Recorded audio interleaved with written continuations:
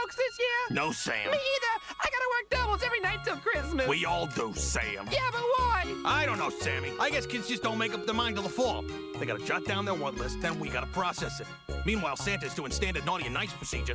Then the reindeer gotta bulk up for their global journey of warmth and cheer. All this, and I'm supposed to know how to tie a bow on a package. Santa's elves aren't the only ones working overtime this year. The Boomerang Programming Elves have been working round the clock to bring you the party event of the season. It's the Boomerang Christmas Party. Two days of classic Christmas specials and movies every weekend in December. Merry Christmas to you, Mr. Ranger, sir. We're making our list and we're checking it twice. But Sam the Door Elf isn't that strict, so either way, you're in. It's the Boomerang Christmas Party. Christmas Eve at 9 on Boomerang from Cartoon Network. You going to Francis' party? Ah, forget about it.